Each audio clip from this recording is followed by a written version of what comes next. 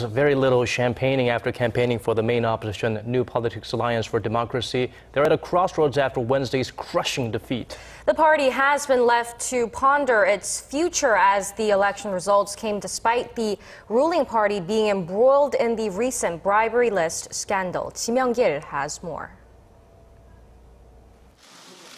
Opposition leader Moon Jae-in took responsibility for the NPAD's spectacular failure to win any of the four National Assembly seats that were up for grabs in Wednesday's by-elections.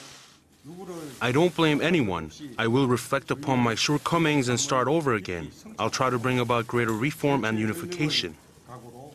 Disillusioned members of the party are demanding a complete overhaul of the NPAD's policy agenda. They are also expected to push for ways to resolve the internal power struggle between those loyal to former President Roh Moo-hyun on the one side and Kim Dae-jung on the other. Moon Jae-in's leadership is also coming under intense scrutiny, adding to the sense of crisis within the party.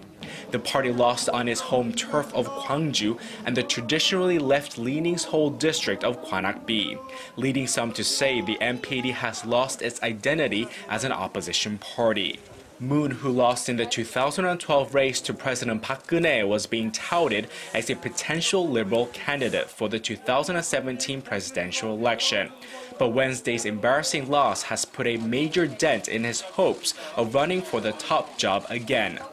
On the flip side, the chief of the ruling Saenuri Party, Kim Moo-sung, has cemented his leadership and raised his status as a potential presidential candidate in two years' time. Despite the bribery allegations swirling around some of its senior members, the ruling Saenuri Party's impressive performance has given it a mandate to push ahead with its reform drives and economic initiatives.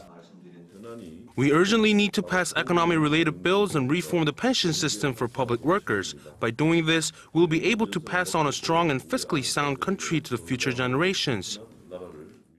The Saenuri Party's victory is also expected to help President Park tighten her grip on state affairs and aid the administration in its push to fight corruption.